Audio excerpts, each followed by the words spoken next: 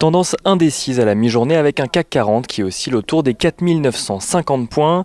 La salve d'indice PMI en Europe et en Asie n'aura pas été d'un grand secours pour l'indice parisien, même s'ils sont dans l'ensemble porteurs d'espoir. En Chine, en Allemagne, en Grande-Bretagne ou même en Italie, la, reprise se poursuit au mois d'août dans le secteur manufacturier après des mois de juillet prometteurs. En Espagne et en France, en revanche, les PMI manufacturiers font ressortir une légère contraction du secteur. Manufacturier pour le mois d'août ressort à 49,8 points en France, juste en dessous de la barre des 50 après la croissance de 52,4 en juillet. Si le chiffre traduit un recul de la production industrielle en lien avec la faible croissance de nouvelles commandes, il n'en reste pas moins meilleur que les estimations puisque le consensus tablait sur un PMI manufacturier à 49 pour le mois d'août. IHS Market précise cependant qu'en ce qui concerne la France, que le ralentissement de la croissance de production a aussi entraîné une nouvelle accélération de suppression d'emplois, tandis que le sentiment général des entreprises tombe à son plus bas niveau depuis trois mois. En zone euro, l'indice PMI manufacturier recule de 0,1 point en août pour revenir à 51,7. Un léger recul qui n'inverse pas pour autant la reprise amorcée. La production en zone euro s'est situant pour sa part au plus haut depuis avril 2018. Côté entreprise, du nouveau dans le dossier Suez, l'entreprise n'a pas tardé à réagir à l'intention de Veolia Environnement de racheter les parts d'Engie à son capital. Réuni en urgence, le conseil d'administration de Suez juge cette offre non sollicitée et que le projet engendrerait des dissynergies et des pertes d'opportunités en France et à l'international.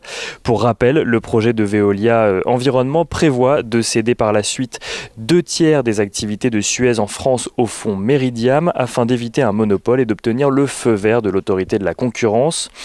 Engie qui n'a pas euh, réagi officiellement euh, de son côté, mais plusieurs sources estiment qu'Engie va tenter de faire grimper les enchères. Là où Veolia Environnement proposait un prix de 15,5 euros par action, Engie pourrait demander 17 euros par action, obligeant le principal concurrent de Suez à sortir 1 milliard d'euros supplémentaires. Et autre point sur lequel l'énergéticien semble attacher de l'importance et dans la lignée du refus de Suez, Engie souhaiterait que les dirigeants de Suez soient intégrés à l'opération, ce qui d'ailleurs pourrait faciliter leur acceptation du projet. Engie et Suez sont toujours dans le vert à la mi-journée, tandis que Veolia Environnement accuse un léger recul. Sanofi, de son côté, fait part de l'échec du test de phase 3 de son traitement Kevzara dans la lutte, dans la lutte contre la Covid-19. Initialement utilisé pour traiter la polyarthrite rhumatoïde, le médicament co-développé avec la biotech Regeneron avait fait l'objet d'un test sur 80 patients à l'échelle mondiale. Mais ni le critère d'évaluation principal du laboratoire, ni le critère d'évaluation secondaire ont été atteints. Sanofi qui gagne près de 1% à la mi-journée. Et dans la lutte contre la Covid-19, AstraZeneca a de son côté débuté l'essai final de son vaccin contre le coronavirus aux États-Unis. Le laboratoire compte séduire 30 000 participants pour ce dernier test.